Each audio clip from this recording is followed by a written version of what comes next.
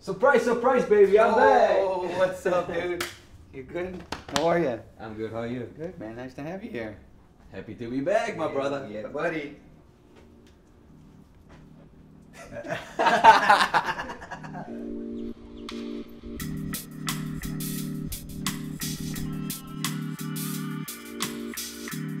Honestly, it was the best decision in my life to came here last season.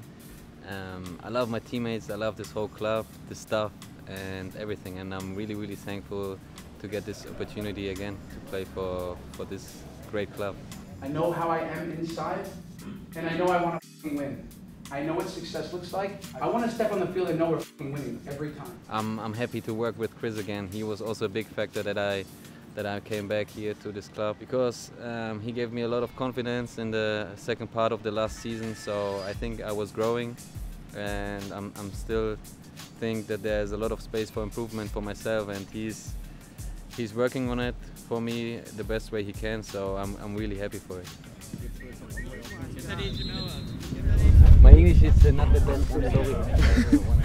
How about when Marc first went to my barber and pretended he didn't speak English? I, I love my teammates and I love to work with them, but it's even more, I, I love to spend time with them, also outside from the field,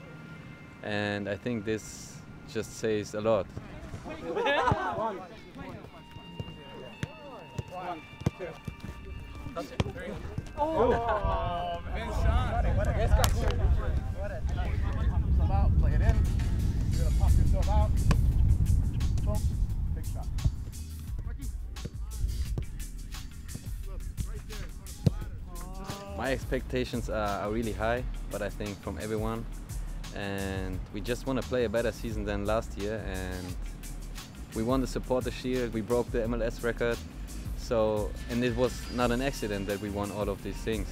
Um, but for sure, we, we, we are hungry for more, and yeah, we just want to win everything. Good, Marc. Hey, see how Marc laying that ball in for you guys. Give it back to him.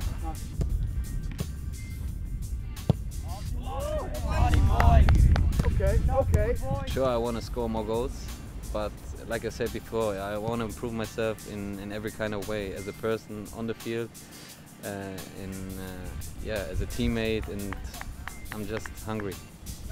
I'm good. I'm good too. Thank you. Thank you. Ah, I need to